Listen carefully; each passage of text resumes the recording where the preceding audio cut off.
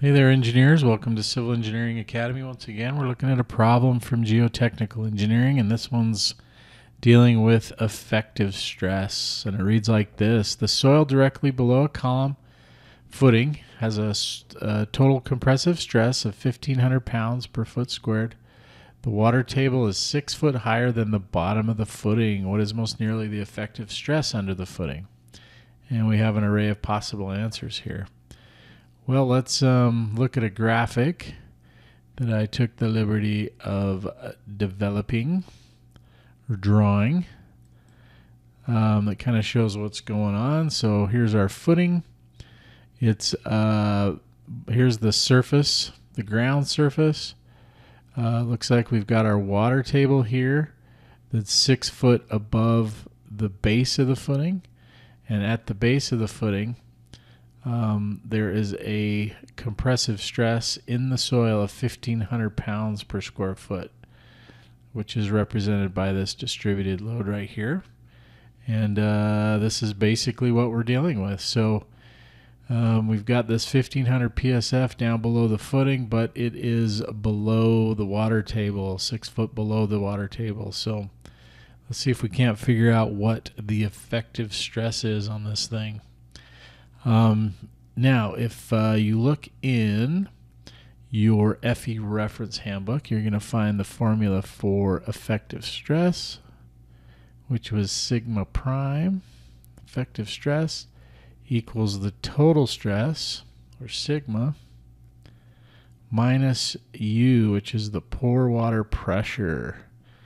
And U, if you'll remember, equals the depth of the water or the pressure head, sometimes it's called, times the unit weight of water, gamma sub W, is what the pore water pressure is.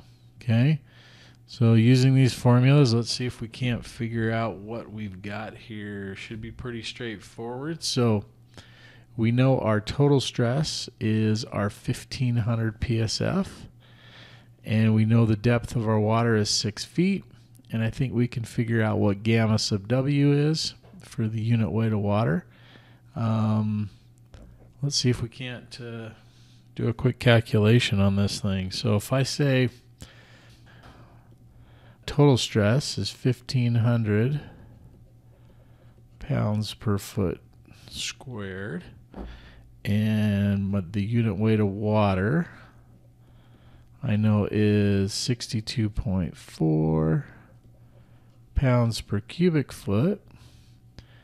Um, and I know my depth. Let's see if we can't get at this. So if I say that my effective stress or my sigma prime equals my total stress, 1500 pounds per foot squared minus my pore water pressure, which is going to be the depth of my water at six feet times the unit weight of water, 62.4 pounds per foot cubed.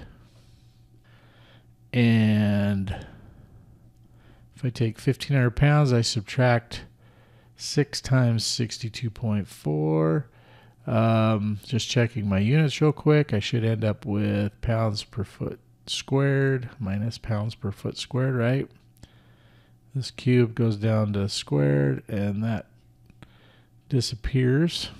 And if I calculate that out, I should end up with 1125.6 pounds per foot squared which looks like corresponds closest to answer B in this example. So, um, nice little problem dealing with effective stress. Hopefully that helps you out. We'll see you on the next one.